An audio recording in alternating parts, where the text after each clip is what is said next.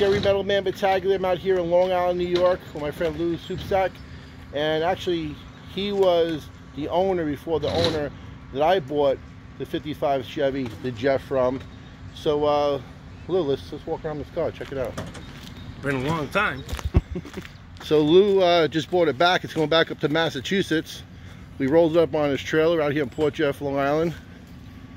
And, um, you know, you have a great history with this car. How many years have you owned it?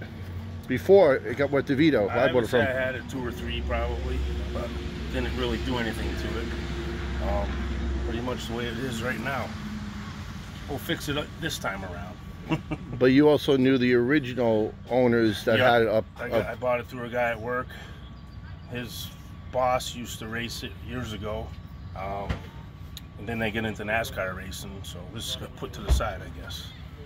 And the he was um, uh, the, the original guy who made this for the the word the Jeff on the car for their friend who passed away. Yeah, I think it was one of their friends that passed away, so they put the name on. And the, that's what they he, me. He was a famous NASCAR modified driver. What was his name again? That Bob Polverari.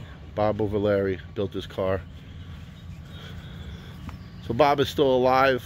Uh, we found out actually, and um, it's going back to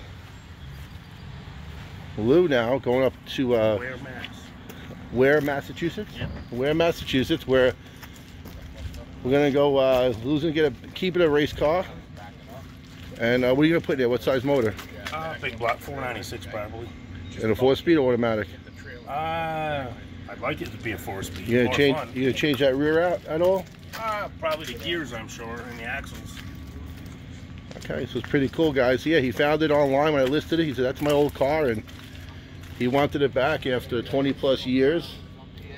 And uh, 1955 Chevy Bel Air, the Jeff vintage race car is going back to Massachusetts. So, guys, please, please like this video, subscribe to my channel. We're going to keep updates on this 55 Chevy. I'll go up to Massachusetts when Lou gets it all running and going. We'll take a ride it and um, hit that bell notification to get more videos from me. So Jerry Metalman Battaglia with the 55 Chevy, the Jeff race car, going back to its old owner.